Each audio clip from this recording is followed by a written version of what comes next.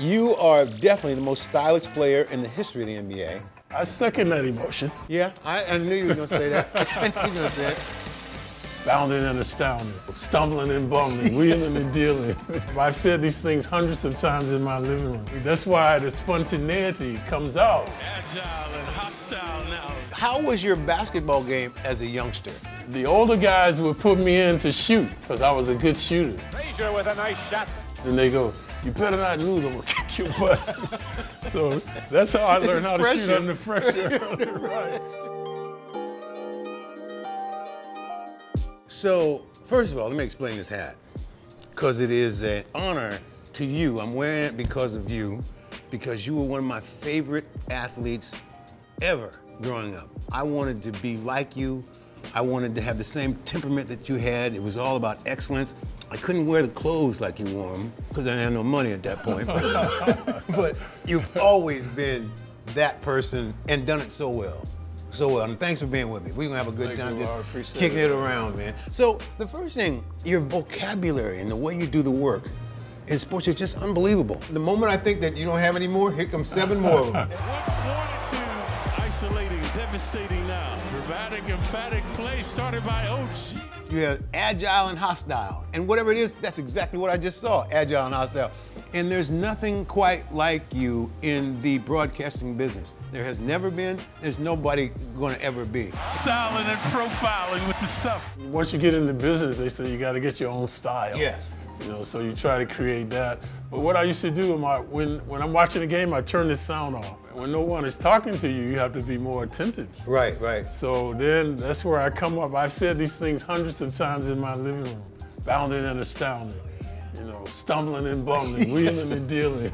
so that's why the spontaneity comes out. Winning and grinning tonight. Oh, how about the feline quickness, canine attitude? Yeah, I feel you were like that one.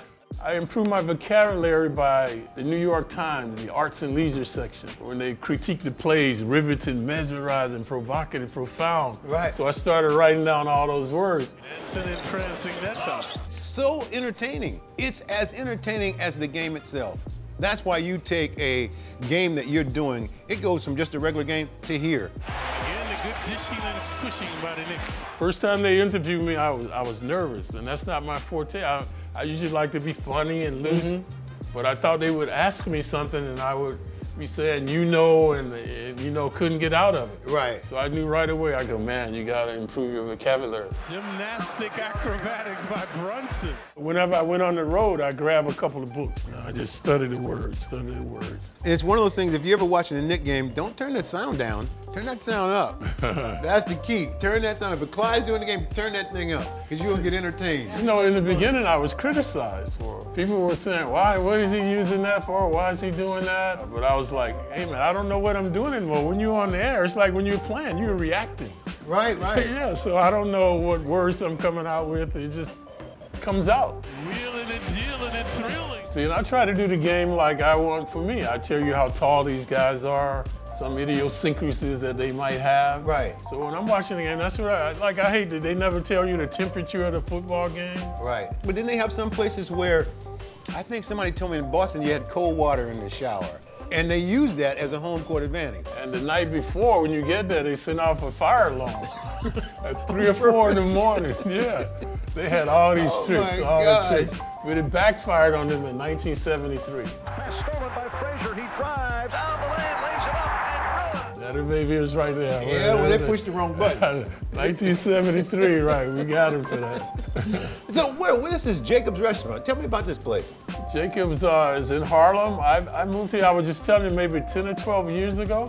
I used to come in the place, and one day he approached me and said, Man, you, you're so nice to the customers and everything. We became friends, and It is wonderful. I have never seen soul food laid out like this. don't befriend him, Mark. That's not the right have have a lot of discipline with Jake Jacob, man. You know, on Thanksgiving, he feasts the whole neighborhood. Oh, that's fantastic. Yeah. He's been doing that for 10 years that I've been coming. Sometimes I come in and help serve. What a surprise that would be. Yeah, yeah, you know, they come in and they go, oh, you look like Walt Frazier, man. You look like Walt Frazier, yes. So tell me about you. Where did the Walt Frazier story begin?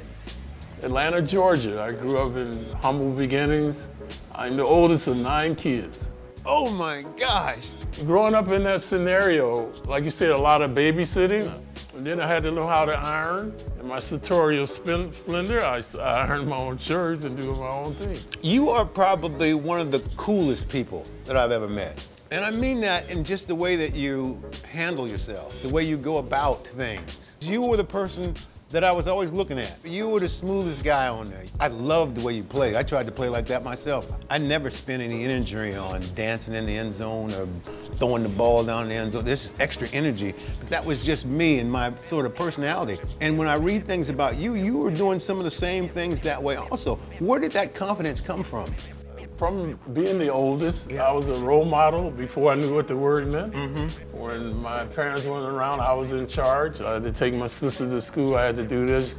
So then when I got into sports, I was always the captain of the football team, basketball, baseball. That's how I became uh, handling the cool because everyone was dependent on me. So inside, I'm percolating like everybody else. Right. But outwardly, I have this cool demeanor. I played 12 years in the NBA. I never had a technical foul call. It's unbelievable. But that is, that's where the confidence comes in. One time I was all over Elgin Baylor. I was trying to, you know, he was like I wasn't even there, man. It was like, Right. I- so that's how I developed that poker face. Yes. When guys are harassing me, they don't know if they're getting through or not. Right. I don't show any emotion. I just keep my cool what I'm doing because people can't read your reflection. Were you a better football player than you were a basketball player at that time? Because you were a quarterback. I thought so. I was an excellent passer. Johnny Unitas was my was my idol. Yeah? So I could throw like 50, 60 yards. Yeah, growing up in the South, football is king. Yeah. You know, my mom never came to a basketball game. How was your basketball game as a as a youngster? Was I was uh, like a precocious neophyte. One of my words. I was like two blocks from the playground, so played on dirt. The older guys would put me in to shoot because I was a good shooter. You know, like they would shoot for nickels or dimes, and they go, "You better not lose, I'm gonna kick your butt." so that's how I learned how to shoot under pressure. right.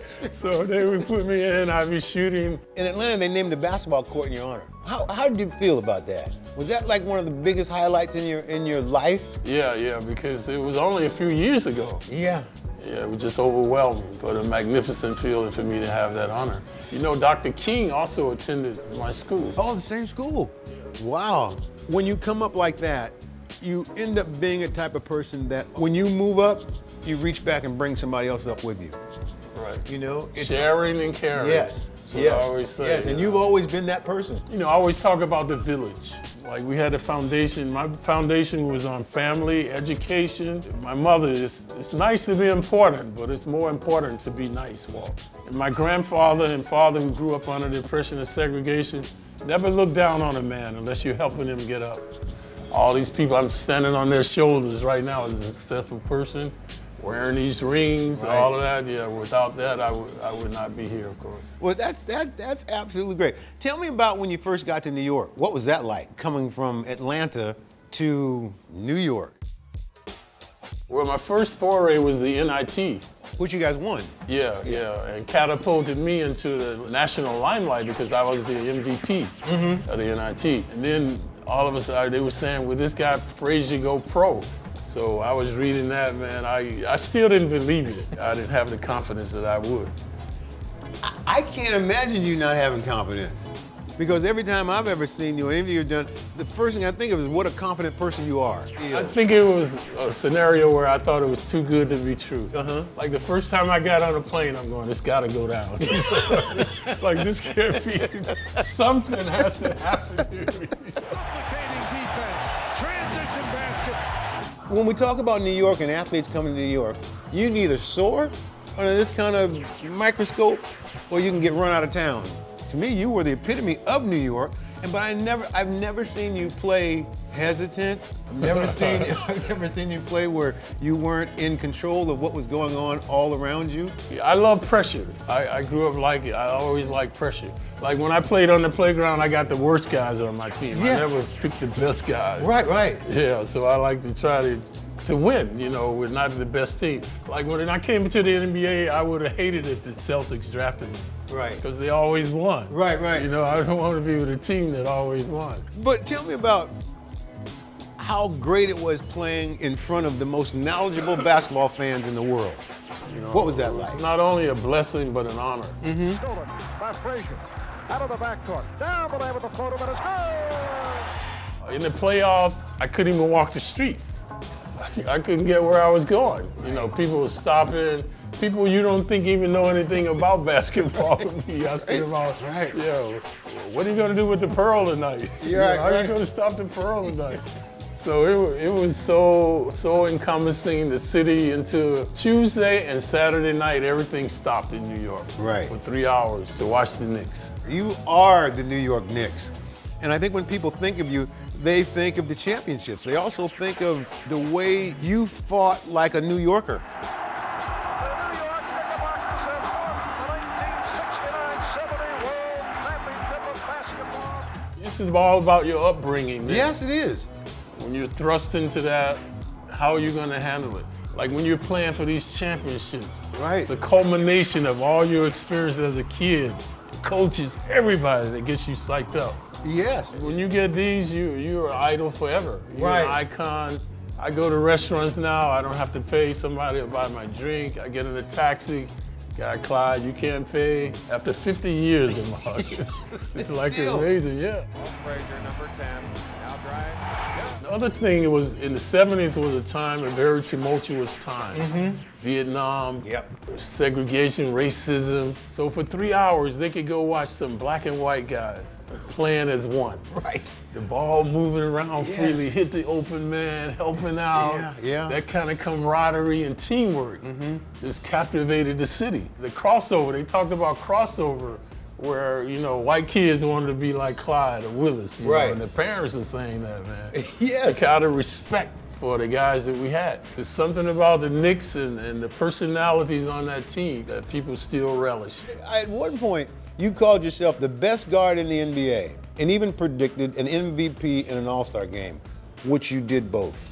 Where's that confidence come from? You know, I actually gained it from once I got to the pros, being in New York every year, the confidence grew because I was going up against these guys and I was competing against them. Right. You know, and I was winning. Right. So that's the most important thing about the confidence. You got to win. Early on, I was trying to be like Big O and Jerry West. Mm-hmm. These were the premier guys. So once they started aging, I was like, man, yeah, yeah, I'm, I'm a star. And I was saying to myself, I can't let anybody take this from me. Bill Bradley said that Frazier is the only player who takes an artistic approach to the game, more ballet than bronze. Right, because of my steals, how I would set guys up. Sometimes during the game, I could steal the ball, but it wouldn't mean anything. Right. But when it's a key moment and you do it, you can change the momentum of the game. The pro course was so soft because they picked them up and put them down. Right, so right, right. they had a lot of dead spots. So I knew where all the dead spots were. If you, if I'm guarding you, I know you go over there, the ball is not coming up. right. So that's how I made a lot of my steals. But you just went about your business so professionally and so beautiful. Nobody, like nobody I've ever seen. You were the orchestrator of the game. Well, my whole game was the, yeah, the sagacity. You see, if I'm on offense, I can see your feet. Yeah. If they're parallel, I know can go around you. You got to have a staggered stance, butt down, head up. Right. My teammates had the utmost respect for me. Right. They wanted me to have the ball. Right, Clyde, you see the ball. and Yeah. if they knew they were going to be open, they knew you were going to find them. right. I was going to pass the ball, give it up. It was a lot, a lot like Brunson right now. Yes. You know, he's He not reminds you of concerned you? with scoring. As far as not being a team player, Yes. not worried about scoring. Yes. But doing what he has to do to win. Mm-hmm. And and it's savvy that he plays with And he brings it every night. every night. That's what you have to do to be a superstar, to be consistent. That's why he's a maestro, folks, a virtuoso. I can safely say of all my playing and, and being involved in athletics that you are definitely the most stylish player in the history of the NBA. I second that emotion. Yeah, I, I knew you were going to say that. I knew you were to say that because it was real. You know how that started? Mm-mm. Growing up as a kid, under segregation, whenever you go downtown, you got to put on your Sunday best. and your best manners. Mm-hmm. Your mother said, you know, you're not only representing the Frazier family, but black people as well. well. Even now, when I do that, when I step out to the Knick games, Right. that's what I am. I, you know, that's how, how it all started. Walt Clyde Frazier. One day we were in Baltimore, and I see this wide brim hat, a Borsalino, a brown velour hat. So I buy this hat. First time I wear it, everybody laughed at me. But being confident, like you alluded to, I go, man, I look good in this hat. I'm gonna keep it on. As fate would have it, two weeks later, the movie Bonnie and Clyde comes out. So then I walk into the locker room, everybody go, hey, look at Clyde. Right. so that's how I got the name Clyde from wearing the hat. It's the best nickname, fits better than any nickname that you've ever heard in any sport. It is, and I'm sure there's a lot of people go, they, they forgot that your name was Walt. Yeah, You know, in New York, right? Well, if you call me Walt, I know you know You me know from me. college Right, right, when right. I grew up. Right. Here's something that you said. This is a quote of yours that I, I love this quote. Have pride in the way you dress, the way you talk, the way you walk, the way you carry yourself. Discipline is a thing that makes you a champion. That's a wonderful statement. That was my philosophy. And the other thing was Shakespeare. All the world's a stage, man. When I go to the games, I go, they just waiting on you, Clyde. All the world's a stage. I might be crazy to say this, but in many ways, you're as beloved as a broadcaster as you were as a player. It's a real blessing, Mike. Tenacious work ethic. It's ingrained in you. Yeah. Because growing up under the segregation, we knew that 99 and a half won't do. Right. You ain't getting that job. Right. You got to give 110% to get that job, man. Wasn't that twice as good to get half as much? That's right. You gotta work, man. So I have, I'm still working. Right. Still have a tenacious, whatever I do. That's how I attack broadcasters. Mm-hmm. It is just absolutely wonderful to be able to sit down and kick this thing around with you. You are the greatest Knick ever, in my opinion. Thank There's nobody been better and that has come through it like you have and still here. And there's probably a bunch of young African Americans that are watching and trying to walk in that same footstep, which is a wonderful thing to do. When people come up and say, hey, Clyde, I used to go to your camp, man. You did this, Clyde, I did that. You know, nothing's better than that. Once a Knick, always a Knick. Exactly. So one of the really great things of coming up here and doing this with you today is I got to find out about Jacob's Restaurant. I'll be back here because Don't this- come back, Ahmad. I'm warning you. Don't come to. back. I have to come back. I'm gonna come across the street and bring you back over here with me. You're gonna get hooked. You're Should- gonna get hooked. Should I wear my hat? That's style and in there. Man, thank you, man. Hello. I really appreciate the time, man. Really appreciate it. I was so excited about this when we started talking about it.